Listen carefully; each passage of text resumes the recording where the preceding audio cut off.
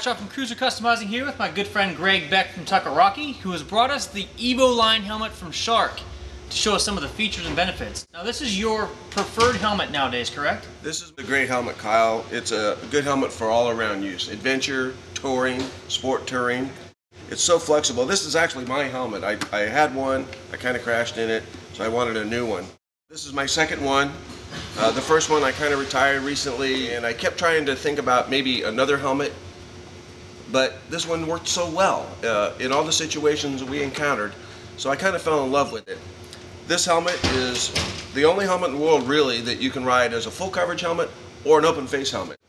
You clip it open like this, open face helmet. It's balanced. A lot of times I'll ride and I don't even notice it's open until I feel the breeze. Like, oh yeah. You can put the shield down and ride like this. If the sun's in your face, you put the visor down.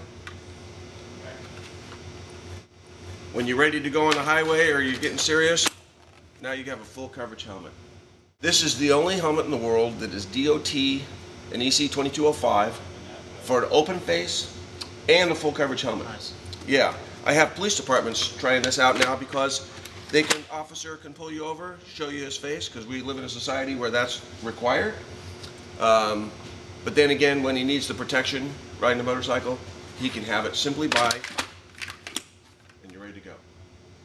A serious helmet. So some of the features and benefits of this helmet that you're not going to find in any other helmet. I don't know that there's features in this helmet that you won't find in any helmet, but one helmet that has all these features doesn't. There is no such thing. Nah, there's That's the important part.